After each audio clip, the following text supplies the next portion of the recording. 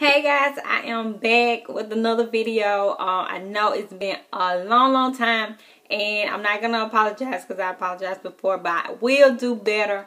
I will, I promise I will do better with uploading videos. Now that I am here at my first duty station, I have a little bit more time to kind of make videos and kind of get in the groove of uploading and everything like that. So I hope you guys forgive me and thank you to all of my new subscribers. Enough of the little chit chat. I wanted to come and make a fun, fun video for everyone They always ask about my wigs and if I still wear my wigs while in the military, um, which I do.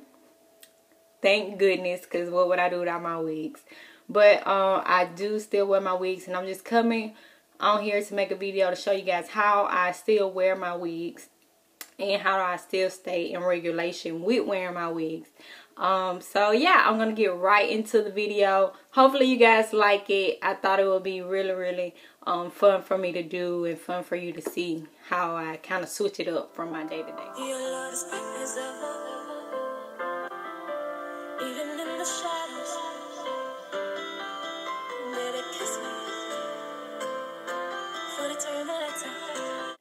Okay, so I will show you guys. I usually just braid my hair to the back like this. I am natural. Um, I did do my second big chop in February when I first made it to my um, duty station. I had to cut it because it was breaking off so bad and it was just so brittle. I just had to kind of start over. I started over from really, really short like all the way short. I have a story to tell about that as well. So if you want to hear about the story on what happened, on how I had to cut my hair, um, I will upload that video. It is hilarious. I promise it's hilarious. Not funny for me, but it's pretty funny now that I think about it. But yeah, so first week I'm going to show you guys um, is this long, long, long, long, long, long, long, long week. I think it was like 30 inches, I guess. I don't know.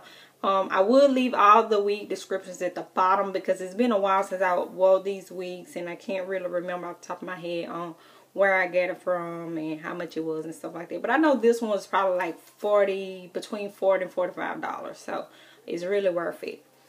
So this is my long wig. It is 30 inches.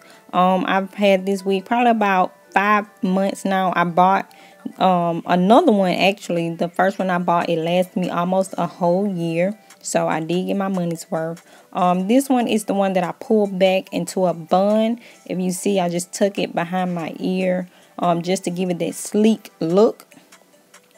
If you want to make sure also that your swoop in the front does not cover over your eyebrow um, you just pull everything back. It is 30 inches. Yeah it's, it's kind of long. It looks short but it's kind of long. Um, again, you want to make sure everything is pulled to the back. I do have my scrunchies.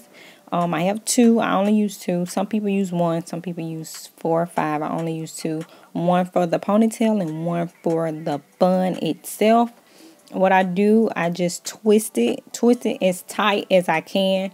Um, while I'm twisting the hair down, I go ahead and wrap it around just to make sure it is really tight because I really, really hate when my ponytail fall down while I'm working. It looks really unprofessional. So you want to make sure it is as secure as it is to be.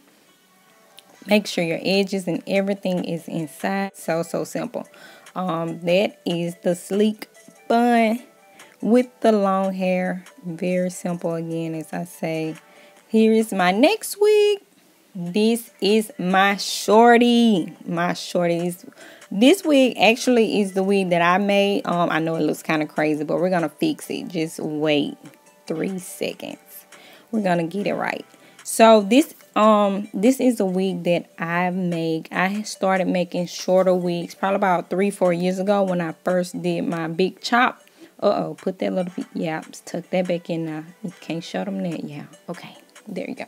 But I um started wearing these after I did my first big chop to cover up my natural hair to use it as a style protector. I really really love the short wigs because you can pull it to the side you can pull it to the front you can curl it make you can really make it a curly little short pixie cut that's why I like it it is sleek on the side sleek in the back nothing's hanging nothing is pulled up. This is my next beauty. This one right here is really manageable. You don't have to do anything to it really. Um, it is the Sleek Bob as you can see. Only thing I do, I just brush it down.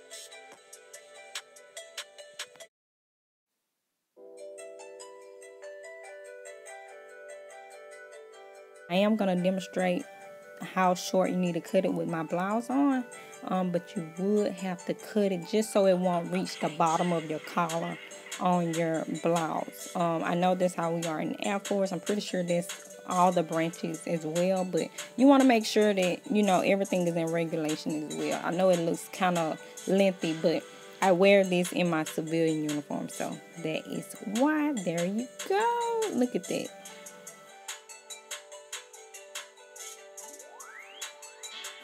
So that sums up all of my wigs. Well, just the ones that I wear while in uniform as well. But I kind of wish I wouldn't have, um, I kind of threw away a lot of my wigs that I used to wear at the end of last year and the beginning of this year. I wish I wouldn't have thrown them away or given them away like I did because I could have had more variety for you guys to see. But I think you guys get the idea. Um, those are just really bare minimum. But if you get any other wigs, just make sure it's not cut too long. Make sure it doesn't um, exceed lower than your collar.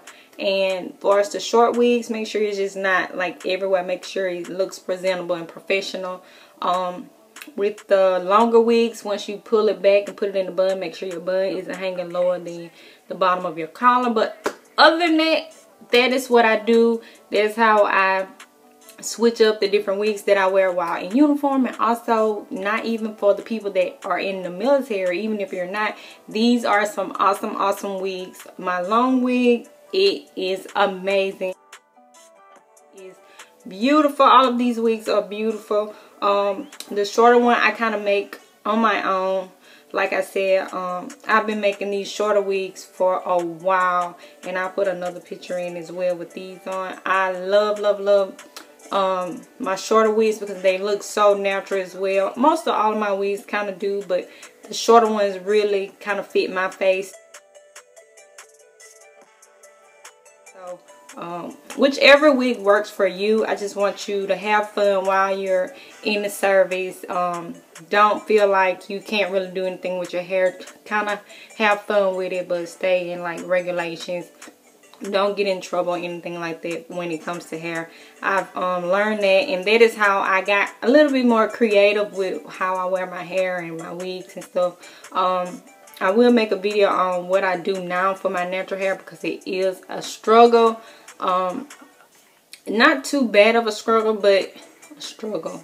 My southern accent coming out struggle struggle it is hard to maintain the natural hair for the African Americans um, that's in service and uniform, but we can get through it. Um, our misses that went before us, they got through it. So I know we can too. Just have a little bit more fun with it and enjoy. Thank you. That is all for this video.